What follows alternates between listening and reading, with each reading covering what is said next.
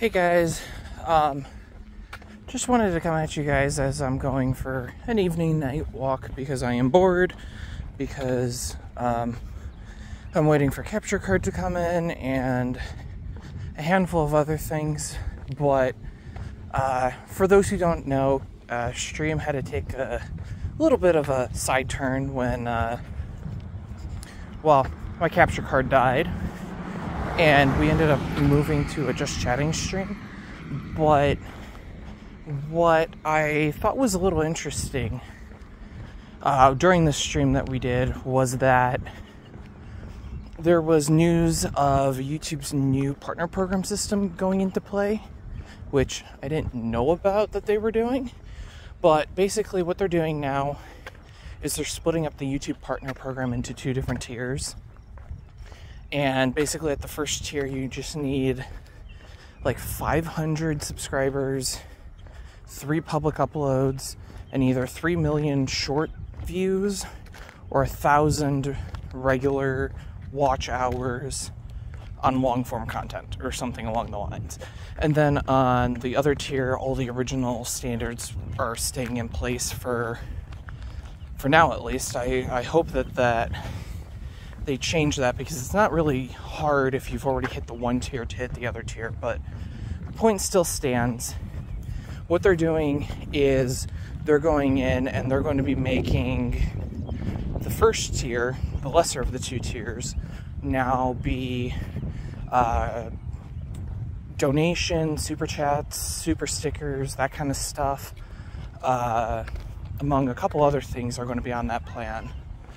And then all of like your ad revenue from like b- before your video starts, during your video, and after your video. That's all going to be on the other tier, uh, as well as a handful of other things.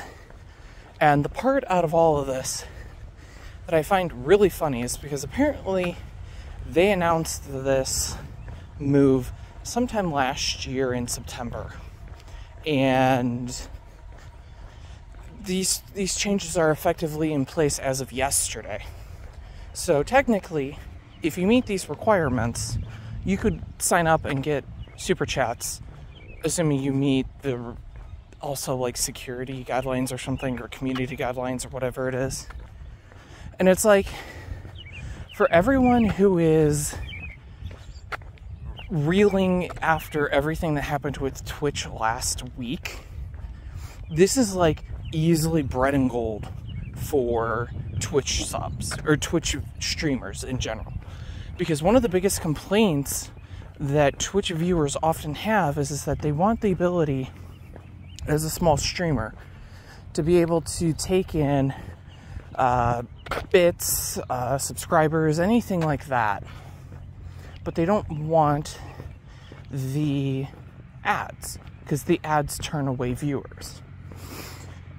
And here you are, a week after this happens, YouTube is like, oh, here you go.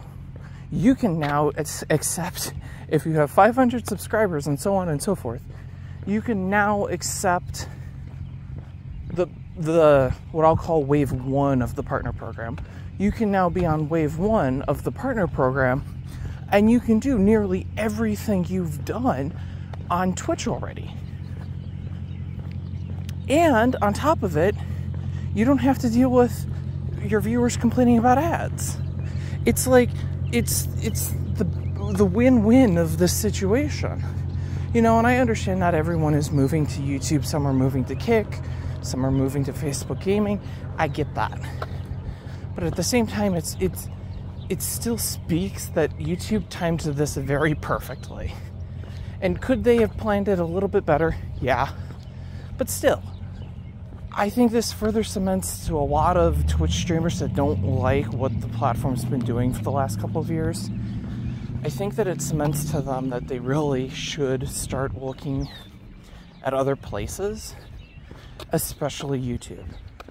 And, you know, in terms of me and my content, I won't say that a lot is going to change. I'm still going to be on Twitch, I'm still going to be doing stuff on YouTube but I, I think a lot of people, myself included, are definitely going to start looking at YouTube more seriously until we can get to that other more ad centric platform, the the Wave 2. I think a lot of us are definitely going to be trying to make more content, do more streams on YouTube. So I just I, I was thinking about this as I was on my way home from dropping something off with a friend. I was like, that worked out really well to their benefit, I think. So, um, so yeah, uh, that's all I really wanted to say. So, bye, guys.